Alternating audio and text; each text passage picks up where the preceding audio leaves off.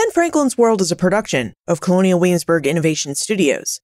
In this episode, was produced with the support of William and Mary and the American Indian Initiative at Colonial Williamsburg. Well, the Brafferton and I would say early schools like the Indian College at Harvard, they were the foundation for what would come later. If we examine the Indian boarding schools of the late 19th and early 20th century, we can see some of the same policies being put into action. The way they were taught is similar, with the purpose or the final goal being that they would be assimilated into mainstream American society, just like the goal with Brafferton to assimilate these children and make them over as English subjects. But I think Brafferton is really one of the foundational schools where this policy of educating to assimilate continues into the 1950s. The Brafferton Indian School has a long and complicated legacy. Chartered with the College of William and Mary in 1693, the Brafferton Indian School's purpose was to educate young Indigenous boys in the ways of English religion, language, and culture.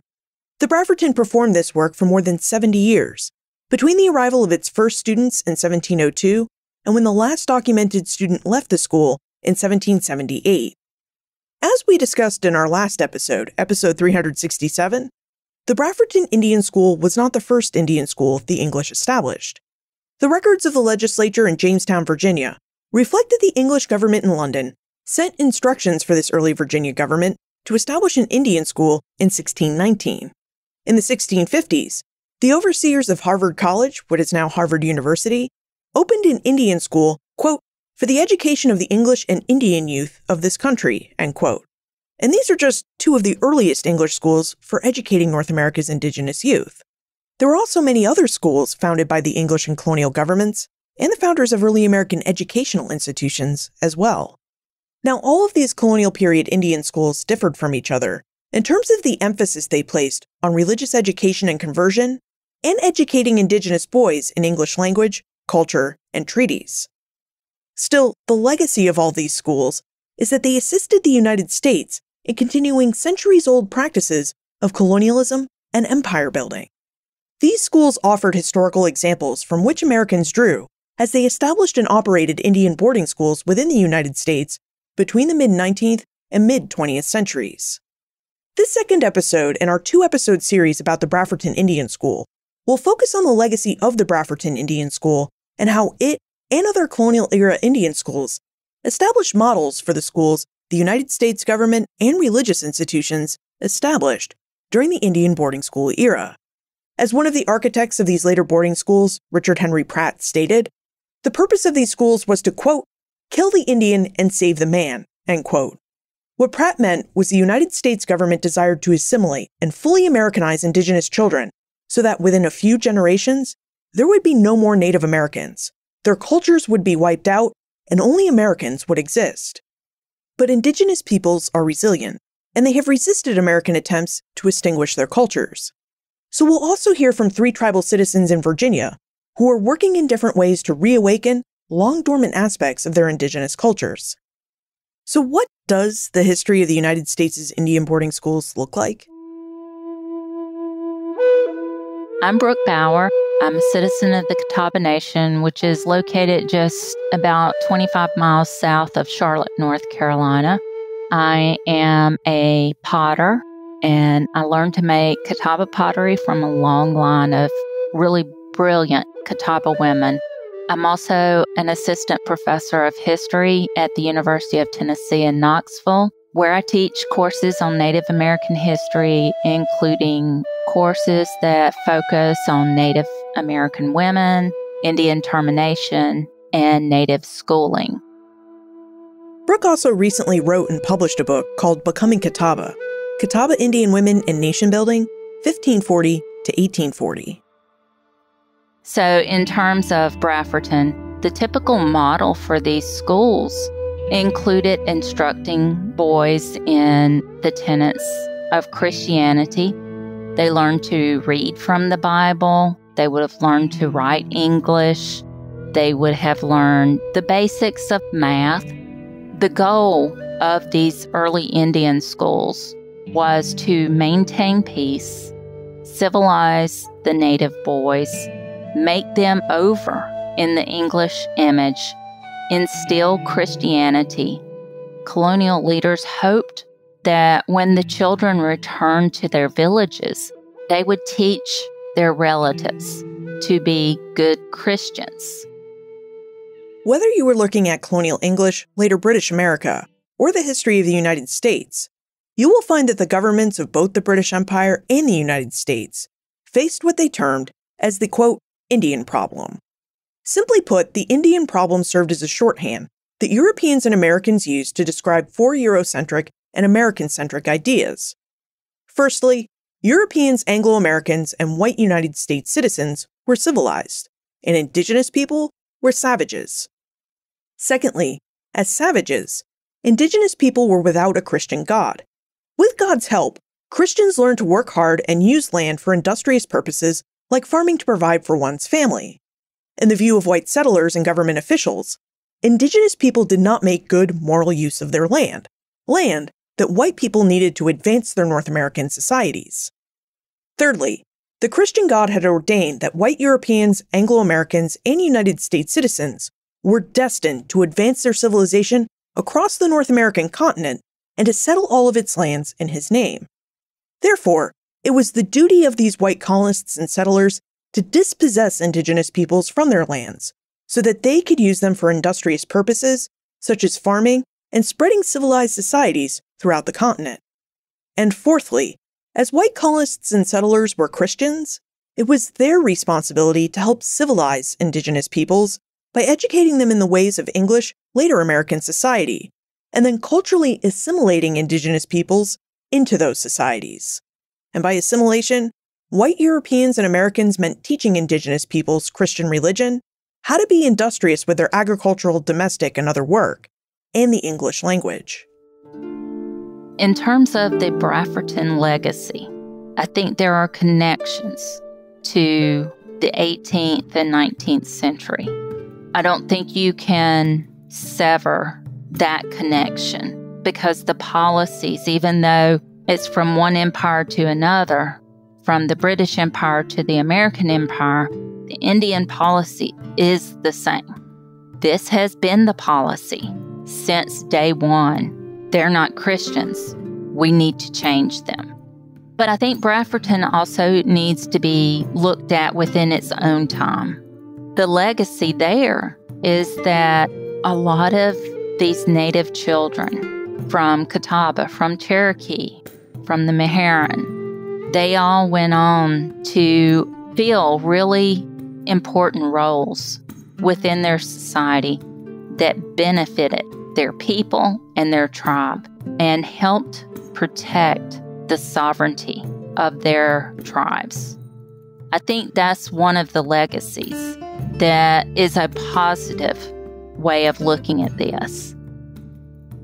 Important differences exist between the English and British colonial era Indian schools and the boarding schools established and operated by the United States government and Christian religious institutions between the mid 19th and mid 20th centuries. Firstly, the colonial era English schools were heavily influenced by English styles of diplomacy. These early schools attempted to anglicize young indigenous boys without fully severing the boys' links to their indigenous cultures.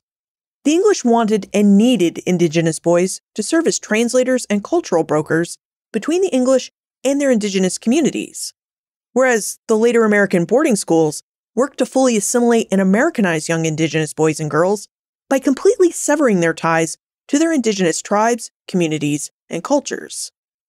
Secondly, in the case of the Brafferton Indian School, tribes were invited to send an adult man with their students to look out for the boys and to help them retain their ability to speak their indigenous language. In the later boarding school era, the United States government passed laws in the 1870s and 1880s that made it legal for the government to kidnap and remove indigenous children from their parents, grandparents, and communities, and place these children in boarding schools for their education and protection. Further, once in these boarding schools, school administrators burned all of the children's handmade clothing and moccasins. They cut their hairstyles so they would conform with American hairstyles, and they also beat any student caught speaking an indigenous language. Thirdly, whereas most of the colonial era schools taught boys exclusively, the US era boarding schools taught both boys and girls. Now, aside from these important differences, the colonial era and US era Indian schools shared many similarities. The Brafferton and I would say early schools like the Indian College at Harvard, they were the foundation for what would come later. If we examine the Indian boarding schools of the late 19th and early 20th century, we can see some of the same policies being put into action. The way they were taught is similar. So at these boarding schools, girls, they did domestic chores for half of the day. Boys, they worked in the field or worked with livestock for half of the day. And then the other half of the day was spent learning English, writing, and math, with the final goal being that they would be assimilated into mainstream American society. In addition to their curriculums being similar, the colonial era schools and the later boarding schools also sought to impart Christian religion. They want to teach them about Christianity. They want to hopefully convert them to Christianity so that when the children return to their homes, the hope was that they would spread the gospel to their people. And then in turn, their people would be good Christians. They wouldn't fight the English. So they would learn from the Bible. That's how they learned how to read. And that's how they learned to write English. The establishment of the colonial era's Indian schools and the United States' Indian boarding schools coincided with intense periods of violence and warfare between indigenous peoples and colonists and settlers. In both periods, these wars bear titles with tribal designations. The First, Second, and Third Powhatan Wars, the Pequot War, the Tuscarora War, the First, Second, and Third Seminole War, the Apache Wars, and the Sioux Wars, just to name a few of these conflicts. We should note that colonial and US governments named these wars, and they did name them to make indigenous peoples appear as the aggressors or bad guys. Yet all of these wars began as white colonists and settlers encroached upon and dispossessed native peoples of their land. Now, during these many intense periods of warfare, English and American officials turned to education as something that might help them create and keep peace. So, why the English created the Indian schools to educate indigenous children, it was really important to colonial leaders, governors specifically, to secure the areas where white settlers lived. These early Indian schools are 100% about controlling Indian nations. It was a power play by the English. It was their way of trying to guarantee that Native leaders and the men of those communities, the fighters in those communities, would stay in line and wouldn't go against the colony. Because if I have your child and I'm holding your child in my house, you're going to be less inclined to make any kind of attack on the house as a group because the child might be hurt. Or, heaven forbid, that the people holding these children might kill them. They might sell them as slaves. Like the English, U.S. government officials still believe, nearly 200 years later, the Indian boarding schools would help keep powerful indigenous nations like the Lakota, Dene, and Apache in check by educating their children to love the United States and American culture, while at the same time holding their children as sureties for good behavior.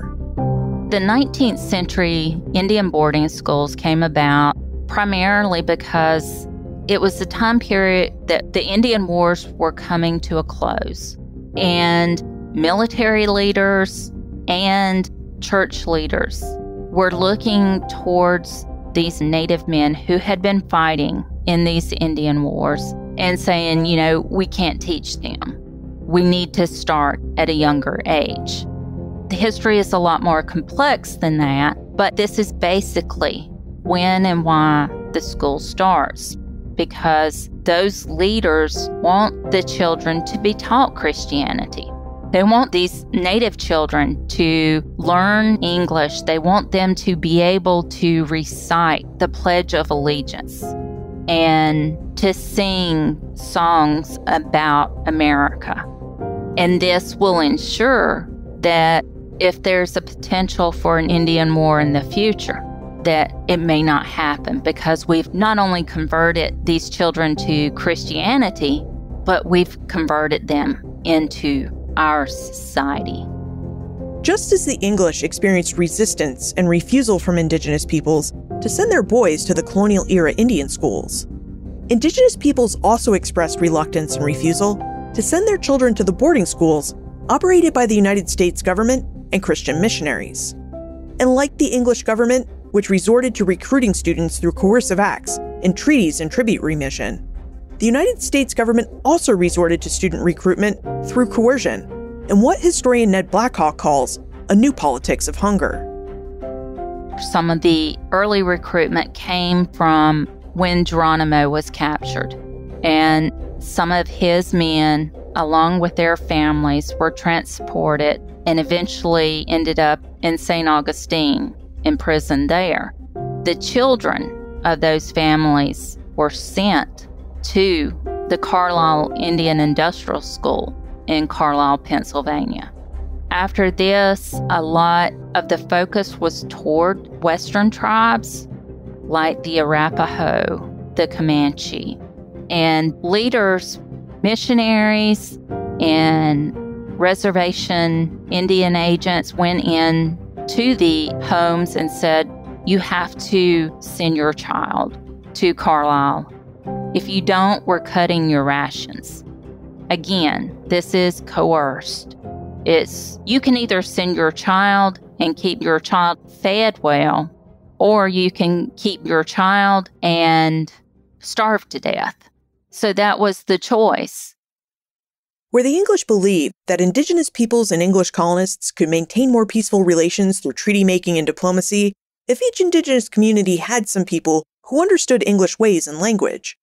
Those in the later United States believed that the only way citizens of the United States and indigenous peoples could live together peacefully was if they eradicated indigenous culture through the education and assimilation of native children.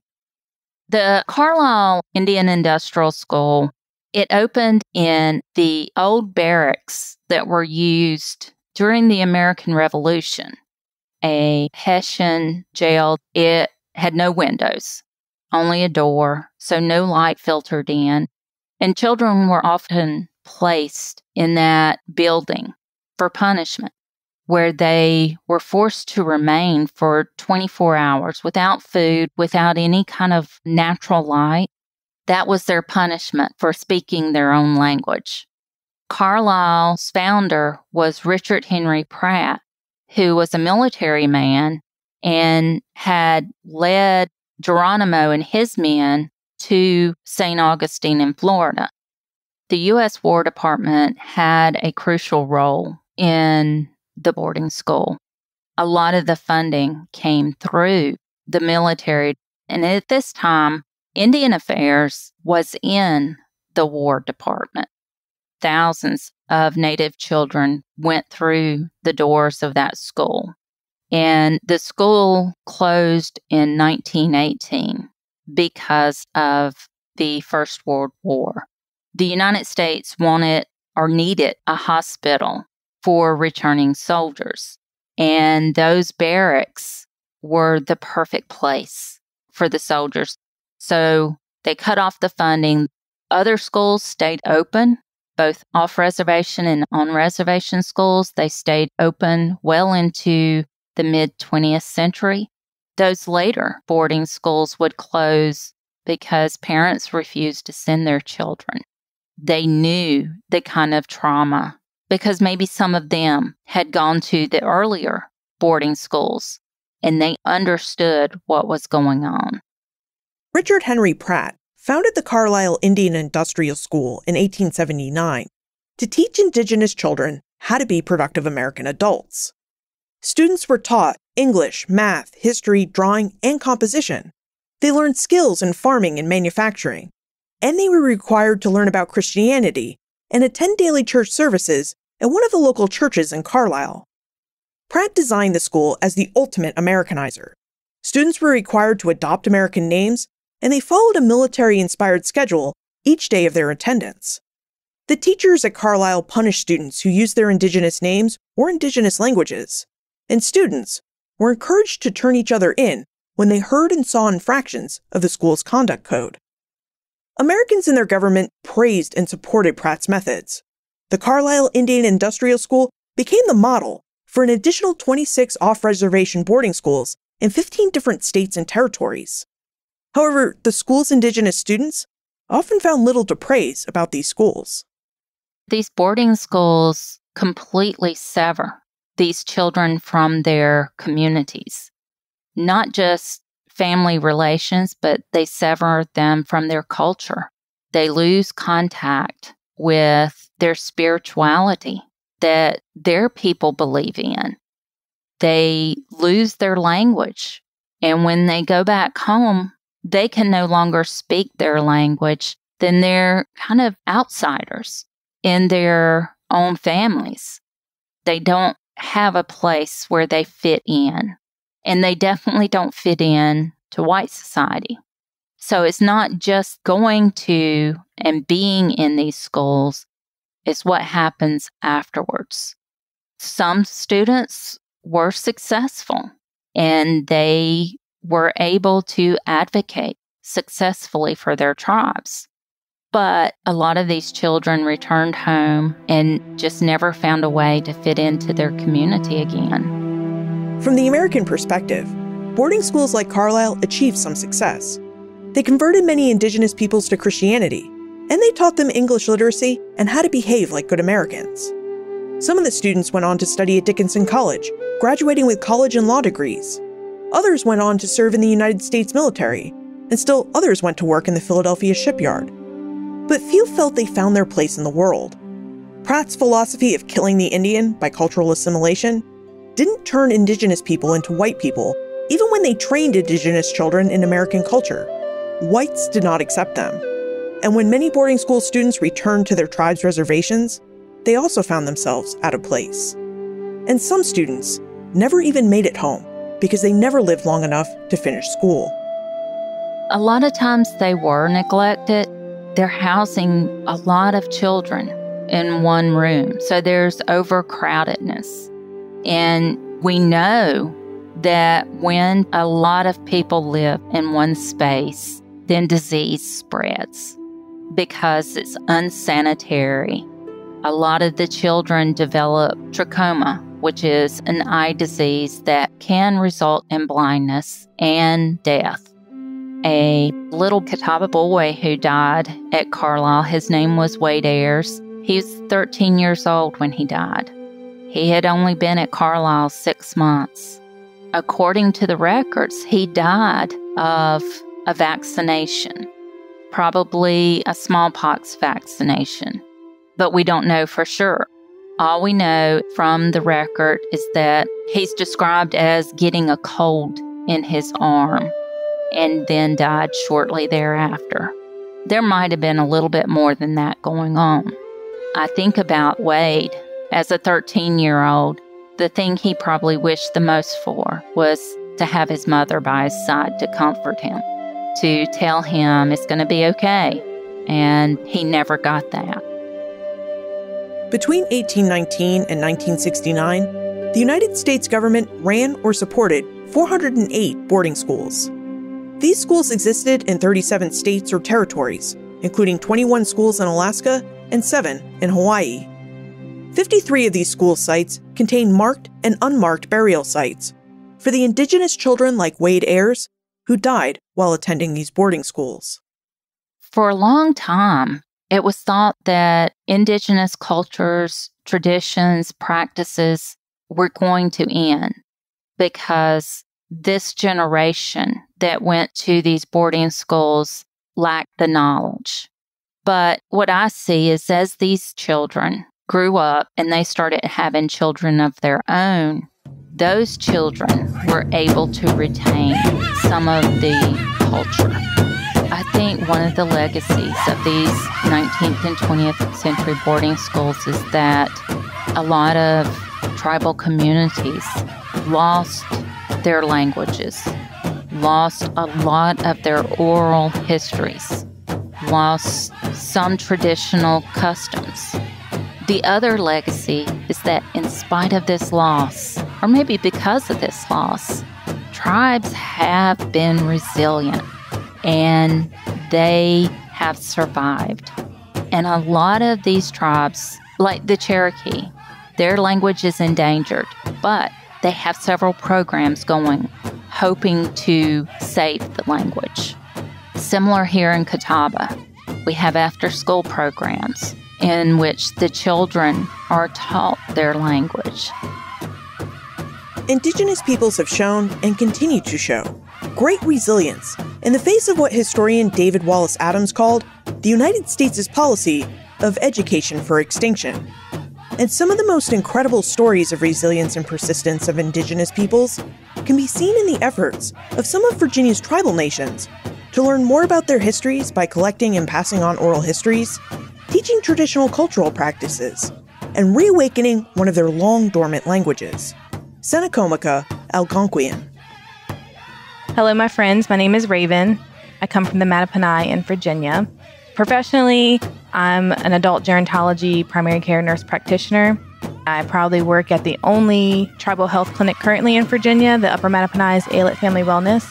Culturally, I'm an enrolled Mattaponi tribal citizen, and I was born and raised on the Mattaponi Indian Reservation in King William County. I also descend from the Rappahannock tribe through my paternal great grandmother. I was fortunate enough to be surrounded by cultural bearers and knowledge holders throughout my youth and into my adulthood. Raven Custalow is also a co founder of Eastern Woodland Revitalization, a 501c3 nonprofit that functions as a tribal services organization. Eastern Woodland Revitalization works with different tribal communities and organizes classes to teach old and new ways of tribal life. Raven is also the president of the Senecomica Algonquian Language Project.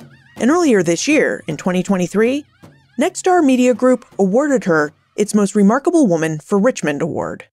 We have 11 total tribes in Virginia. There are, I believe, seven federally recognized and four state recognized. So we have our federal tribes are Upper Mattaponi, Pamunkey, Chickahominy, Eastern Chickahominy, Monacan, Nansemond, and Rappahannock. And then you have your four state recognized, which are Mattaponi, Patawomeck, Cherokee Nottoway, and Nottoways of Virginia. The Mattaponi Reservation was established in 1658, so it's one of the oldest reservations in America. It sits in King William County, Virginia. It's about 125 acres with some of that wetland, so it's not usable for living. There's about 30 households there, maybe about 60 tribal members. However, the tribe itself consists of probably over 400 or more tribal citizens, and they're scattered throughout Virginia and even into other states. Like many indigenous peoples, the Mattaponi have been dispossessed of their original homelands and have found a need and a desire to wake up their ancestral culture. Our ancestral homelands were in the Tidewater region, not necessarily King William only. We've been displaced and moved around. So prior to that, you'll find us down in Gloucester County throughout the northern neck. I believe colonial journals will talk about eight Mattaponi towns scattered throughout the Tidewater region. You know, it's a beautiful area. The reservation sits on the bluff overlooking the Mattaponi River. So at least we were able to continue that connection to the land and the water that was so important to our people and our survival. My grandmother, Christine Rippling Water Custalow, she's a famous Mattaponi potter and beater and has dedicated much of her life to teaching these cultural practices to the local indigenous youth. My father is also a well known drummer and singer so I was able to attend various powwows by going along with him and, and dancing at those powwows. So since childhood, I've learned various cultural practices like pottery, beadworking, leatherworking, dancing. And those early influences led me to co found Eastern Woodland Revitalization, which is a nonprofit that I helped co found. where we share knowledge with other tribal members throughout our community. Raven Custalow co founded Eastern Woodland Revitalization with her husband Chris and her sister Nokomis. The idea for the nonprofit emerged after Raven and Nokomis reminisced how their grandmother, Christine Rippling Water Custalow, had held cultural classes for Mattaponi children on Saturdays. My sister and I remember our grandmother held classes for all Native youth back when we were growing up. We would go to class on Saturdays, but there wasn't anything like that anymore. And we found a disconnect with ourselves and with our relatives. We just didn't have a place to go and practice culture together outside of powwows. And there was a lot of cultural practices that we weren't aware of or weren't well versed in. Maybe some of those practices almost kind of died off. And we wanted to be able to authentically express ourselves as Mattaponi people or as Virginia's indigenous people. So we're like, well, let's start classes and let's just see what happens. So we did, we started holding classes about once a month. Once they started holding their monthly cultural classes, Raven and her sister quickly found that they weren't the only Mattaponi in their community who were craving a place where they could learn more about their people's history and authentically be Indigenous people who practice traditional customs. A lot of times when you think about cultural classes, we automatically go to material culture, so pottery, beading, leatherworking. But it even goes further than that, too. We have songs that connect us to our spirituality. We have environmental stewardship practices. We're the first caretakers of this land, so ensuring that we're bringing that into our classes as well. There's, of course, incorporating language from our peoples in this area into our classes is important. So, various aspects of what our classes entail. A lot of it has been material culture so far because that is the easiest and most accessible thing we can do for people. Language, of course, is going to take a long lifetime learning. And spiritual practices, some people may or may not be interested in. But that's kind of where we're at so far with our cultural work. Although it started as a Mattaponi project, Raven Custalow and her co founders have worked to ensure that the cultural work of Eastern Woodland Revitalization extends beyond the Mattaponi people. We didn't want to limit this to Mattaponi people only. A lot of us come from multiple tribes, and we're all relatives in some way. We see each other as relatives, whether someone's Mattaponi or maybe from another tribe. And we have similarities in what our culture looks like and how we practice culture. So we really open this up to Eastern Woodland people in general. A lot of our cultural knowledge holders that come and help us teach these classes are from other tribes. We have Saponi represented and Wampanoag and many more. They come and show us things that maybe in Virginia we lost. So we wanted to keep this open to all Eastern Woodland people. When we say Eastern Woodland peoples, that can range all the way from Canada down south, east of the Mississippi, it's important to remember that each tribe is unique in their own way, but some of our practices are similar. In addition to helping each other bring back cultural practices, Eastern Woodland peoples are also helping each other reawaken their languages. My name is Tanya Stewart. I am a citizen of the Chickahominy tribe. I'm Cultural Resources Director for the Chickahominy Eastern Division, which is located in New Kent County. The Chickahominy are located basically on the Chickahominy Ridge and also in Windsor Shades, which is basically Charles City, New Kent, James City area. We date back to being in this area over 12,000 years. Eastern Chickahominy branched off from the Chickahominy tribe in 1921, became official in 1925. Everyone gets along well. You know, there's no animosity between the two tribes or anything. Chickahominy is the word used to describe the people of the coarse pounded corn.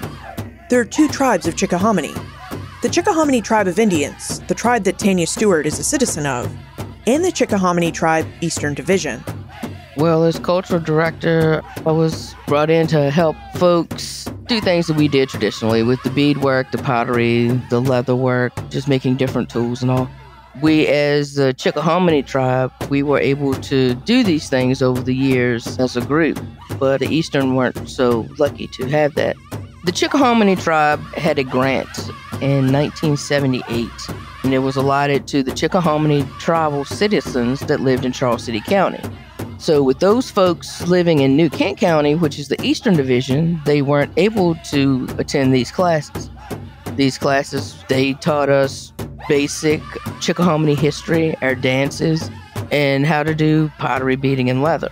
I'm bringing that information over to the Eastern Division, where they had a whole generation that missed out on that.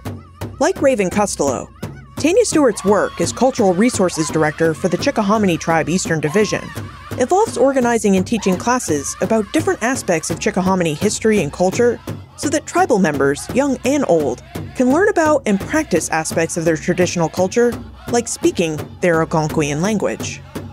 We were speaking Algonquian fluently until the mid 1700s, but as colonization took over, we had to conform.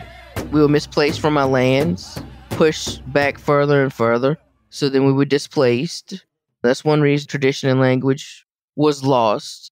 In all reality, it was much easier for us to conform than to try to continue to be ourselves in public. It was like we were wearing two hats. We were native at home, but we were colonized in public. So you weren't allowed to speak your language. You were punished for speaking your language. So why are you going to speak it out in public when you're going to get in trouble? You keep it at home. You keep it to yourself. And with it being kept, it just got dormant. We're a first contact tribe. Many East Coast Native people are among the first to be contacted by European settlers. And with that comes assimilation and genocide. A lot of our people, unfortunately, died because of either disease, warfare. Some of our people were sold into slavery. So just the physical decrease in our population is a factor. And then our people needing to survive over the last 400 plus years with European settlers has been difficult. Our ancestors had to make certain choices in order to protect what we had left, including land. And sometimes we had to give up some of those cultural practices and even our language to keep what we had left safe. They had to make choices so that we would still be here, still be relevant, and be Indigenous people hundreds and hundreds of years later. So some of those practices did unfortunately die off. And I hate to say die off, I like to say sleeping. They just relate to rest, just waiting to be revitalized, reclaimed. Like the Chickahominy and Mattaponi, many Indigenous peoples physically survive the laws, boarding schools, and other racist practices that work to stamp out and eliminate their culture and traditions. And like the Chickahominy and Mattaponi, Indigenous peoples are working to reawaken their dormant cultures with revitalization projects that seek to recover their traditional ways of life and their spoken languages. And the recovery of lost practices and languages, like the recovery or reawakening of the Tsenacommacah Algonquian language, is often an intertribal effort. The project is involving several different Algonquian speaking tribes here in Virginia. I'm a part of several language projects, but this particular one, the Tsenacommacah Algonquian one, is just several of us from different tribes. Talking with the linguist that's partnering with us, I think it's very important that we break this language down into something she calls Proto Algonquin. And she's done that with another tribe in another state who has an Algonquin based language. So breaking it down to that Proto Algonquin and then looking at what we have from colonial documents, looking at other linguistic work, and then looking at our neighboring tribes who spoke similar dialects and seeing where we fit into that. We have lists of words from Thomas Jefferson, from John Smith, from John White, lots of early personal accounts of connection with the natives in the Tsenacommacah area, which would have been the Pamunkey, the Mattaponi, the Rappahannock, the Chickahominy. It's important to be as authentic as possible. It's not going to be the exact language our people spoke 400 plus years ago, but getting it as close as we possibly can, I think, is important. I hope we don't go down a path where we're just using someone else's language and substituting words in because that wouldn't be authentic. As Raven Custalow and Tanya Stewart explained, it takes a lot of work to reawaken a dormant indigenous language. Thankfully, many indigenous peoples in the eastern woodlands spoke some form of Algonquian, which means groups like the Tsenacommacah Algonquian Language Project are able to turn to other Algonquian speakers to hear what the words listed in those colonial documents or remembered by oral traditions might have sounded like when the language was spoken fluently in Tsenacommacah or indigenous Virginia. There are definitely still Algonquian speaking peoples up into the Great Lakes, even into Canada, speaking Algonquian, but it's a different dialect. We're finding through some of John Smith's writings and Thomas Jefferson's writings just how some of the letters or the words were elongated or shortened. There are some alphabets that we as natives just didn't use. By the word lists that we have compiled from several different writings. And then also, along with those writings, some of those folks have written as it was a gurgle tone or it was a deep tone. You're going to have the different dialects. So someone could say Mattaponi and you're going to spell it how you think it sounds, how it sounds to you. But my neighbor five miles down the road, he could say the word Mattaponi and it sound different and then they spell it different. So it could be Mattaponi, it could be Mattaponi. In addition to helping each other recover their languages by sharing word lists and what they know about different dialects, tribes are also helping their near and distant neighbors find the best ways to help people learn their traditional languages. Just met last month with some folks from the Siouan speaking. So just trying to get in contact with them and just learn from them. What did you all do and how did you all teach? what are some of the different teaching tools that you all use? And that was one thing that we had picked up on when we had visited a tribe in North Carolina, the Haliwa-Saponi. They're teaching their language as well. And they were using flashcards and just the kids were just having an actual Native American class where you're learning your skills, but you're also learning your language to go along with that. So working with other tribes, just asking, hey, what did you do? How can we do this? How can we do this better? What can we improve on?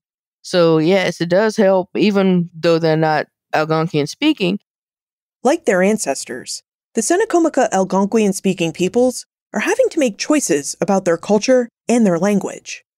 They're actively thinking about what Algonquian words to include from the word lists they find, what words and grammar they would like to borrow from other Algonquian speaking peoples outside of Virginia, and what words, pronunciations, or grammar they will need to exclude from their reawakened language as they rebuild it. As Raven Custalow acknowledged, the work of rebuilding a language is a multi generational project. It's not going to be the exact language our people spoke, but getting it as close as we possibly can, I think, is important. And I think that our ancestors will see that effort and take comfort in the fact that when my time is done here, and we join our ancestors in that spirit world, we'll be able to speak to them and they will understand us.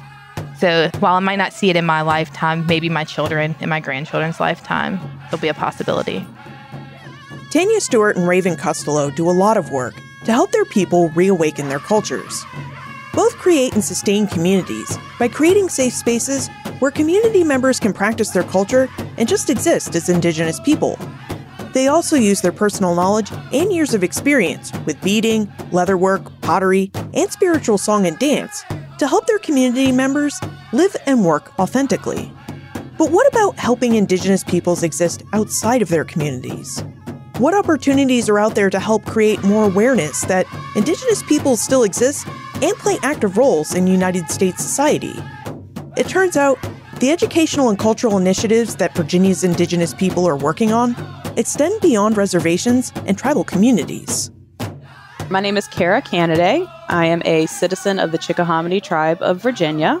I am the Chief Executive Officer of the Virginia Tribal Education Consortium. I am a proud graduate of Charles City High School. I'm also a proud graduate of Old Dominion University, where I received my bachelor's degree in speech pathology with a minor in special education and also Virginia Commonwealth University, where I earned my master's degree in special education. So, my experience in education took me to the classroom where I did teach special education for four and a half years.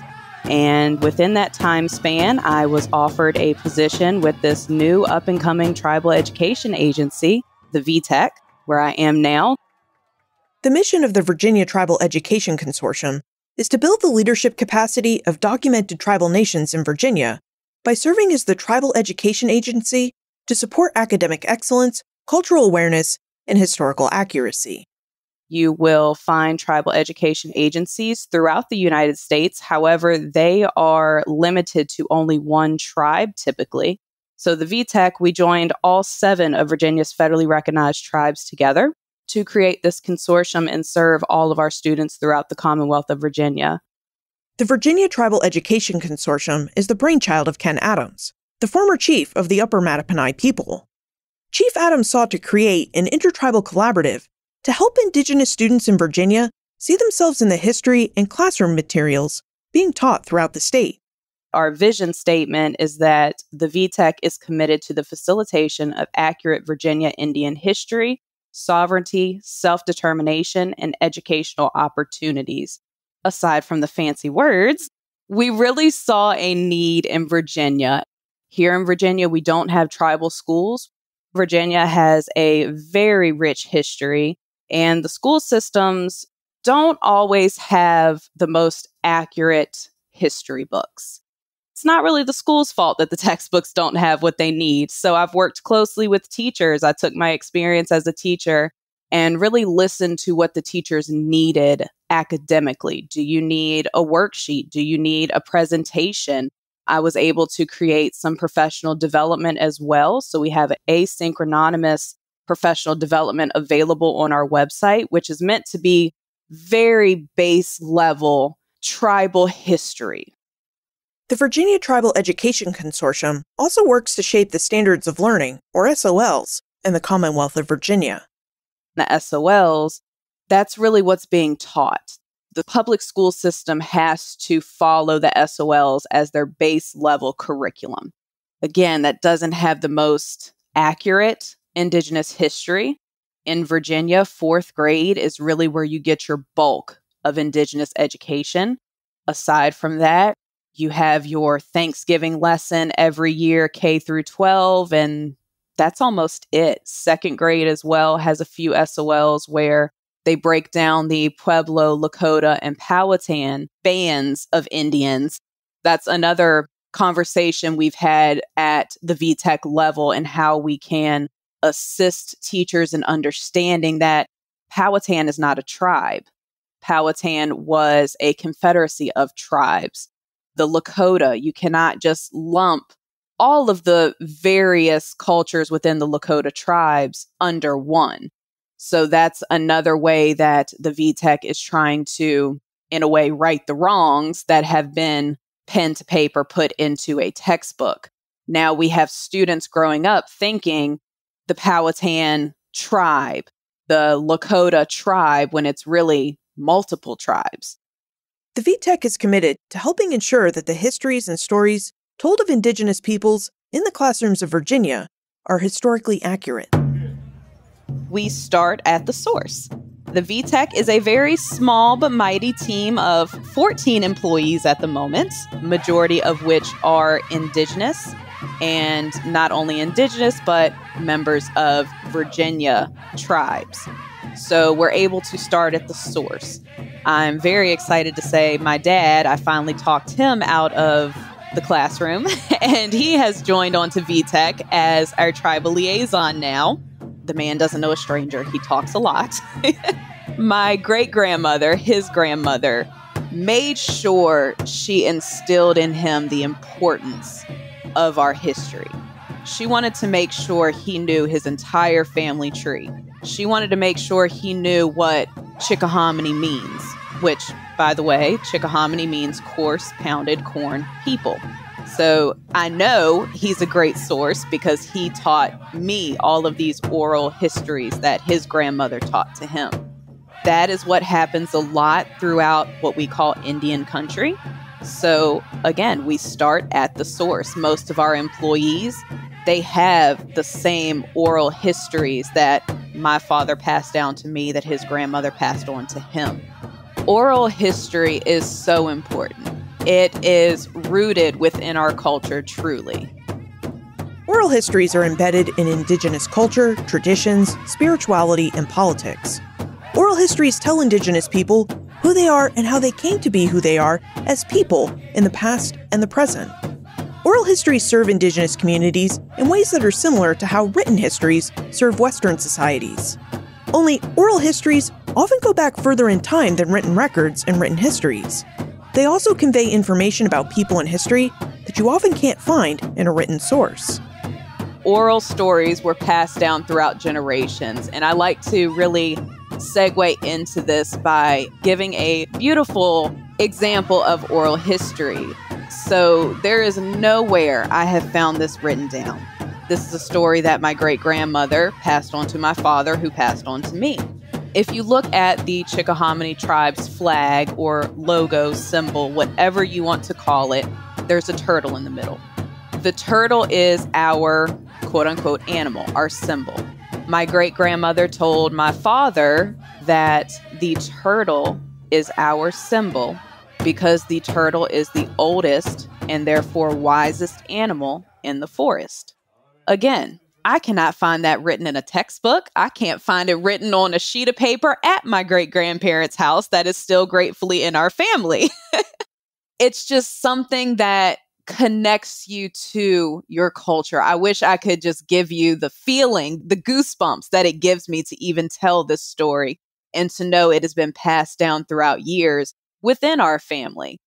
So, oral history is so important because it tells stories.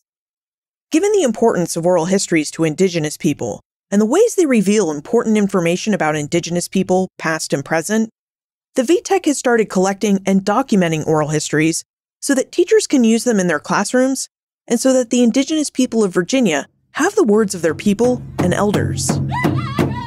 If you go to our website, VTEC, and that is V T E C I N C dot org, we have a tab at the top called History. And you will find this incredibly long page of oral histories that were collected by our board members in VTEC's early conception we interviewed tribal elders and we asked them questions. For example, who is your tradition bearer? Or who and how did they teach you the most about your tribal community? Again, that oral history, it goes on and on. Somebody says their mother was instrumental to the tribe receiving state recognition because these elders have stories and they have proof that we were there, that unfortunately it may not have been written down it is breathtaking to read the experiences from our tribal elders who we have interviewed. And this was only the beginning. We're currently working on other projects that does write down these oral histories because our elders, unfortunately, it's a part of life. We all pass on. We don't want those stories to pass on with our elders. Not everyone was fortunate enough to grow up in a family where their parents or grandparents or great grandparents continued those oral traditions. In addition to collecting and documenting oral histories, Kara Canaday and her team at the Virginia Tribal Education Consortium also perform what historians call triangulation. They read history books, examine the archaeological and material culture records, and consult with scholars to fact check elements of those oral histories before they offer them as teaching materials. So these oral histories are very important to take down so that we can continue documenting. Right now, we have only directed folks to our website to view the oral history we have posted there. The other works that are in progress are exactly that, just in progress at the moment. But we do hope to continue creating modules for teachers. We hope to create asynchronous modules that teachers can assign to students or they can create as an interactive piece in their classroom. They may think they don't have access to accurate Indigenous history. A lot of teachers, and again, speaking from experience, don't even know where to begin. They may know there are Indigenous tribes in Virginia, but they don't know who, they don't know how many. And that's again because the textbooks, history is taught from the eyes of who had more power. We are taking that power back. I have personally worked on a history textbook that will be offered throughout Virginia. For the past 400 years, North America's indigenous peoples have been working to coexist with European and American colonists and settlers. Coexistence has not been easy. As the history and legacy of the Brafferton Indian School reveals, Europeans and Americans have always thought that North America's indigenous peoples should conform to their views of how society, laws, and culture should function. This is why the founders of the Brafferton Indian School worked to acculturate their indigenous students in the ways of English religion, language, and culture. They wanted and needed representatives of indigenous nations to understand English and later British culture, with the hope that these students would communicate what they learned to their indigenous communities and hopefully bring them into the fold of English society, culture, and colonialism. When looking back at colonial era schools, like the Brafferton Indian School, later Americans decided that the United States needed to take a harder stance when it came to the acculturation of indigenous peoples. In the eyes of mid to late 19th and early 20th century United States citizens, the English did not go far enough in trying to anglicize indigenous peoples. They never demanded that the students of the Brafferton Indian School sever ties to their tribes. In fact, school and colonial government officials encouraged students to speak their indigenous languages and to keep some aspects of their tribal customs. Americans believed that this is where the English had gone wrong. To secure its claimed Western territory and to end warfare, Americans between the 1880s and 1920s believed that you had to kill the Indian by extinguishing indigenous cultures. And they used the Indian boarding schools they created to sever students from their tribes, their languages, their customs, and their tribe's communal ways of thinking. But indigenous people are resilient, and they have resisted American attempts to extinguish their cultures. The Indian boarding schools founded and supported by the United States government took their toll on indigenous culture and its survival. We can see this in the way that Raven Custalow, Tanya Stewart, and Kara Canaday describe the work that they and their tribes, communities, and family members are doing to help Indigenous people reawaken and rebuild the customs, languages, and beliefs that have served their peoples for thousands of years. Long before English and American colonialism began dispossessing them of their traditional homelands, and the United States set to work on dispossessing them of their culture and traditions. In its oral and written forms, history tells us who we are and how we came to be who we are as a people. The history and legacy of colonial era Indian schools and the later United States Indian boarding schools help explain why so many in the present day believe that indigenous peoples and their cultures have entirely died out. History shows us that this is because the United States did attempt to wipe away indigenous peoples' indigeneity, the cultures, languages, and traditions that make them indigenous. With this in mind, I asked Raven Custalow, Tanya Stewart, and Kara Canaday what they wanted us to know about their present day Mattaponi and Chickahominy people and Indigenous peoples more broadly. I would hope people would understand that even though we don't have some aspects of our culture, it doesn't mean we're not Indigenous people. I think a lot of times people assume, well, you can't speak your language, you don't know this, then you're not really an Indigenous people. But the Virginia history for our people is very complex and very unique outside of just what happened in the 16 1700s even up till the early to mid 1900s our people had to fight against Walter Plecker who was changing our birth certificates to say we were no longer native people. You know my grandmother she wasn't even allowed to finish school. They could only go to school on the reservation up through the 8th grade. Anything further they would have to go to a different state to a quote unquote Indian school. So our people faced a lot of hardships and our people had to make a lot of hard decisions. And while that resulted in some loss of culture, language, spirituality, it made it so that we still had our lands today, that we still have communities today, and that we are living in a time now where we are able to bring those things back. We're still here. We're resilient. We're strong. Our folks are smart and intelligent. I've always heard growing up the dumb, stupid savage. We were always put down as being stupid and mean. And we're not. We're loving, caring people. We helped the colonists survive the first couple winters.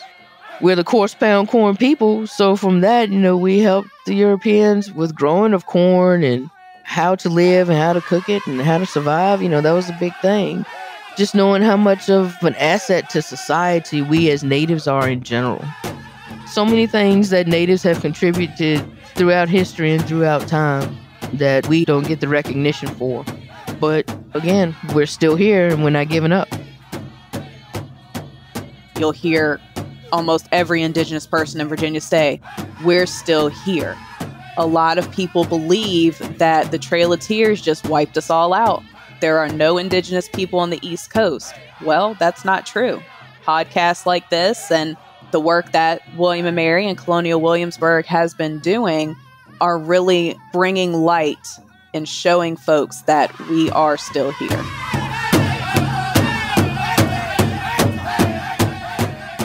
You will find more information about our guests, Brooke Bauer, Raven Custalow, Tanya Stewart, and Kara Canaday, plus links to the revitalization work and projects on our show notes page, benfranklinsworld.com slash 368.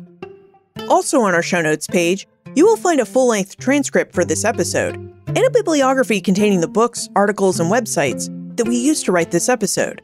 Again, you will find those resources at benfranklinsworld.com slash 368. This episode was made possible because of the financial support of the Colonial Williamsburg Foundation, and because many historians and tribal citizens helped me. I'd like to thank the William and Mary American Indian Student Association, whose members Matthew Solomon, Emily Magnus, Troy Wee Pongwe, and Dakota Kinsell donated their time and feedback to support this project.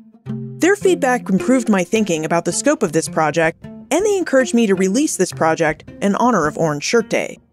Orange Shirt Day is an annual remembrance and commemoration day on September 30th to create more awareness about the intergenerational impacts of Indian residential schools on individuals, families, and communities. My colleagues at the Colonial Williamsburg Foundation, Fallon Berner, Christopher Custalow, and Felicity Meza Luna, welcomed me into the Colonial Williamsburg Foundation with open arms and very quickly stepped in to help me with this project. Along the way, they taught me more about the Colonial Williamsburg Foundation's American Indian Initiative, the history of the Brafferton Indian School, and indigenous cultures. They also took the time to reach out to their community members, including those you heard from today, so that we could offer a well rounded account of the Indian schools and how indigenous peoples are awakening aspects of their dormant tribal cultures. They also arranged for our musical guest. The indigenous music you heard throughout this episode comes from the Warpaint Singers. The Warpaint Singers licensed us the rights to use their music in this episode. For more information about the Warpaint Singers, visit our show notes page, benfranklinsworld.com slash 368. The other musical tracks you heard in this episode were licensed through Blue Dot Sessions. Megan Kate Nelson kindly provided me with some reading recommendations about Western and United States history. Holly White and Joshua Piker also helped me think through early stages of this project. Thank you. Production assistance for this podcast comes from my colleagues at Colonial Williamsburg Innovation Studios Joseph Edelman, Katie Shinnebeck, Ashley Bachnight Claybrooks, and Ian Tonat. This podcast is part of the Airwave Media Podcast Network. To discover and listen to their other podcasts, visit airwavemedia.com. Finally, what other aspects of Indigenous history would you like to know about? Is there a history of a particular tribe or tribal community that you want to hear about? Is there something about material culture or other aspects of indigenous culture? Let me know. Liz at benfranklinsworld.com. Ben Franklin's World is a production of Colonial Williamsburg Innovation Studios.